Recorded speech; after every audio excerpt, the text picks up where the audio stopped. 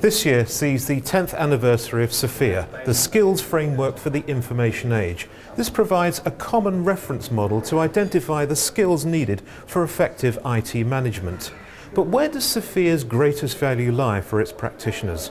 We're here at the 2010 SFIA conference to find out. The adoption of SFIA was linked to us moving to generic role profiles. Previously, we had job specific job descriptions, and that really was limited the flexibility of moving people around the organisation. Right. That was the key driver for us. The thing about SFIA is it's uh, written in such a way, it's a language which anyone, whether they're in the IT industry or outside of it, can understand. It's now an internationally used framework. So it means that what they can do, you can define all your IT skills not down to the product level, but more the generalistic level, like networking rather than Citrix, etc.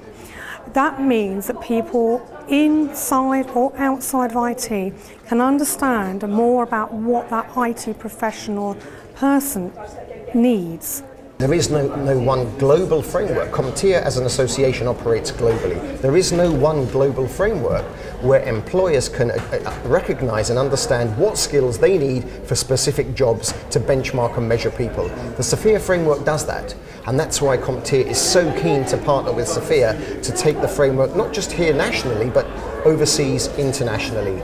We've got 570 courses, all of which could be relevant in some ways. Now, the only way to make some sense out of that is by using a framework like SFIA to actually identify which ones are most relevant for IT professionals. It is essential to have a common understanding of competencies so that you can develop professionalism in the IT profession. Yes, aligning the available skills to the needs of the business is very important to us, particularly as we entered the recession and we restructured the governance of our skills, putting um, lead practitioners at the centre of this, and SFIA was really the glue that held it all together for us. SFIA is a very convenient way to organise, you know, we need to figure out organisation in the profession. Mm-hmm. So let's just use SFIA, it works. If you can start defining in words and a language that people can generally understand, most people understand networking, most people understand a PC, most, people, most people will understand the word system.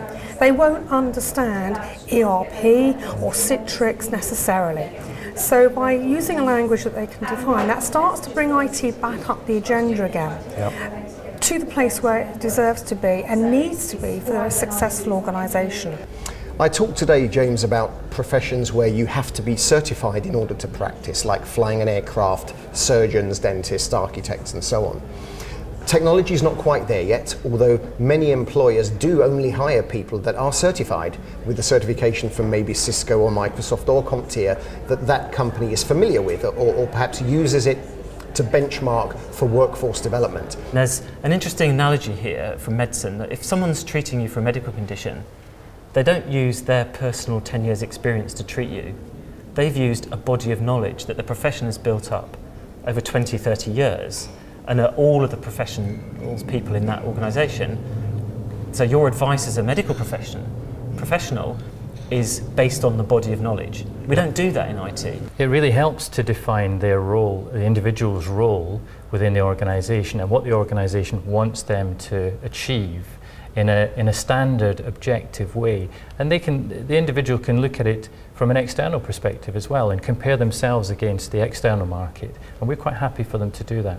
I'm uh, Arnold Oskam. I'm Dutch, but I'm actually uh, living in Chile. I've been living 13 years there now. And uh, now I'm running a management uh, consulting company together with my partner. He's also here at the conference. And uh, we're visiting today the SFIA conference with one of our clients, uh, University INACAP. So taking the time to, to be here because this is where SFIA is happening. and we want to be part of it because we see large opportunities in Latin America. For now, uh, we're the only formal partner uh, of SFIA, but we are promoting uh, uh also a university, um, Universidad Federico Santa Maria INACAP, to become SFIA partners because they're introducing SFIA as part of their curriculum because they're redesigning their curriculum around uh, SFIA skill framework. So uh, actually they're already on the line uh, and uh, that's one of the discussions we had to also here with uh, representing INACAP to uh, Mike Bridgefoot and uh, the SFIA organization today. BA's adoption of SFIA is across the whole IT function, which is global. Predominantly our IT function is based in the UK, but we're moving into a merger with um, Iberia, and that's an exciting thing for us. We